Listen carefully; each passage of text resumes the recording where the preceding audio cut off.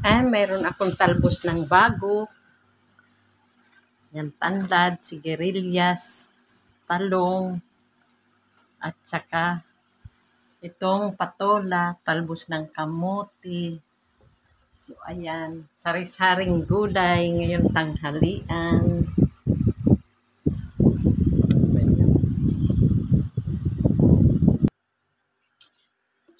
So, ayan, Tinagay ko na ang pangalawang gata at ayang sibuyas at saka yung tanlat. Lagay na rin natin yung sigarilyas at ang talong.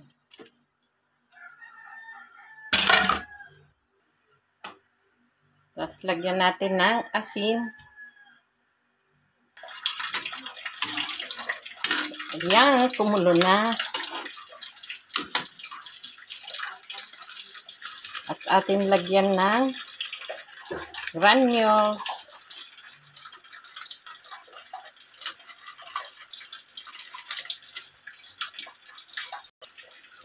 Ang bango ng ano guys, yung tanlad. Bali tanlad at saka sibuyas lang ang rekado niyan. Ito, mayroon ako ditong isda, aking ipapaksiw. Yan, perfect combination sa ating ginataang sari-saring gulay. At ilagay na natin ang talbos ng bago.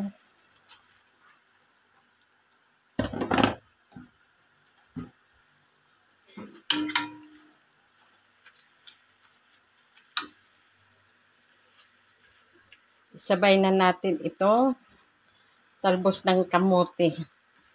Yan, sari-saring gulay. Ilagay na rin natin ang patula.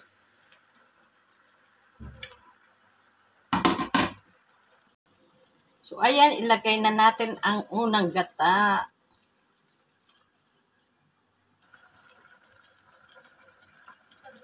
Ayan, ating tikman. Hmm. Perfect. Luto na ang ating ginataang sari-saring gulay. At ito naman ang paksiw na isda.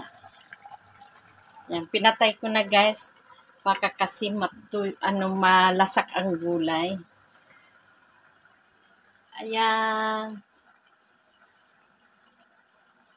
Don't forget to follow, like, and share.